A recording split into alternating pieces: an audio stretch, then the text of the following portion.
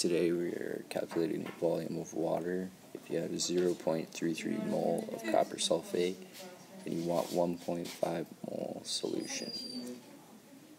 So you take what you're given, which is 0.33 moles, and you take 1.5 mole per liter, and you have your triangle. So you want to find volume. So you're going to take the 0.33 and then you're going to take the 1.5 and you're going to divide 0.33 by 1.5 mole per liter and you're going to get an answer of 0.22 liters of water.